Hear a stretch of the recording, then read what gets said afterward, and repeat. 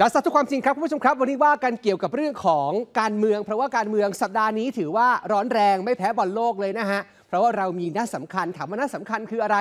นัดสำคัญนั้นก็คือสารรัฐธรรมนูญจะมีนัดวินิจฉัยกันนะฮะ ว่าเรื่องของกฎหมายพระราชบัญญัติประกอบรัฐธรรมนูญ ว่าด้วยการเลือกตั้งสมาชิกสภาผู้แทนราษฎรจะผ่านหรือเปล่า คือพูดง่ายๆว่าไอ้เรื่องของกติกาการเลือกตั้งครั้งหน้านะมันจะผ่านหรือเปล่านี่คือโอ้โหร้อนแรงมาก ถือเป็นอุณหภูมิทางการเมืองที่สำคัญ แล้วที่ผ่านมาตลอดสัปดาห์ ต้องบอกคุณผู้ชมแบบนี้ คือนักการเมืองเวลาเห็นผู้สื่อข่าวก็มักจะเดินหนี มักจะเดินผ่าน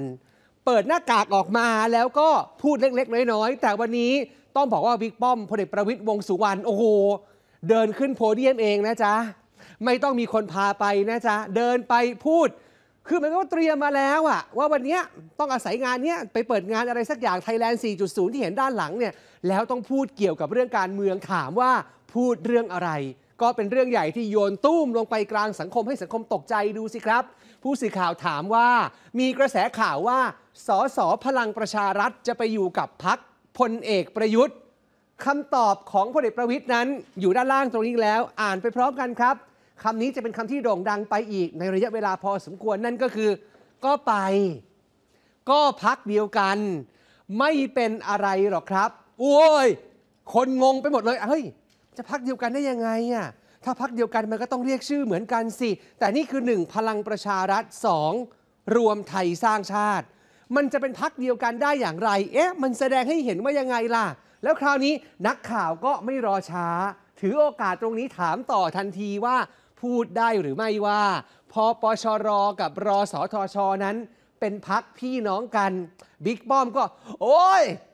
อย่างนี้เลยนะฮะพลเอกประยุทธ์กับผมนั้นเป็นพี่น้องกัน ท่านอยากไปอยู่ที่นู่นก็ไป ผมไม่ได้ว่าอะไร ผมไม่มีปัญหา ก็เขารู้จักกัน ก็พักเดียวกันน่ะจะทำยังไงได้ล่ะ เอาหมายอย่างนี้เลย ก็แสดงให้เห็นว่า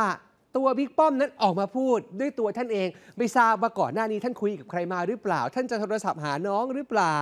อันนี้ไม่ทราบ แต่ท่านประกาศชัดในวันนี้ว่าพักเดียวกัน อันนี้เป็นเรื่องที่ใครก็ตามจะไปยื่นนี้ผมไม่เกี่ยวนะฮะว่าอยู่ดีประกาศว่าเป็นพักเดียวกันท่านที่ใช้ชื่อต่างกัน อันนี้ไม่รู้เป็นเรื่องของอนาคต แต่ผมเชื่อว่าไม่น่าจะมี เพราะว่ามันไม่ได้มีหลักฐานที่หนักแน่นเพียงพอ แต่ถามว่า พอฟังแบบนี้แล้ว